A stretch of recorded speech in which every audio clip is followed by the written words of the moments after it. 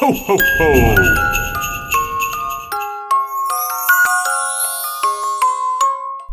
年度盛事圣诞节又到了，尤其在圣诞进入倒数阶段的现在，越能感受到大街小巷传来的浓烈圣诞气氛哦。现在就来看看马来西亚各大商场的超创意圣诞灯饰摆设吧。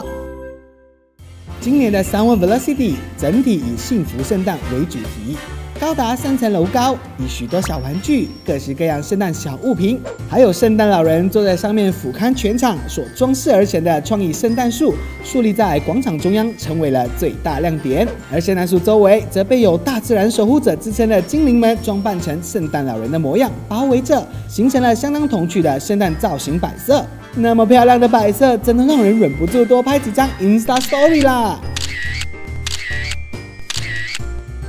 作为雪龙区最新开幕的购物商场，他们以全白色的圣诞装饰在众商场中脱颖而出，以马来西亚著名的 Bukit Tabor 水晶山作为创作灵感，将二十四尺高的巨型圣诞树置身于舞台中央，由并列两排的雪白造型树叶形成的一道拱门，引领着大家步入这个梦幻的国度中。果然，贯穿着水晶圣诞为主题的设计概念啊，在马来西亚度过白色的浪漫圣诞再也不是梦啦。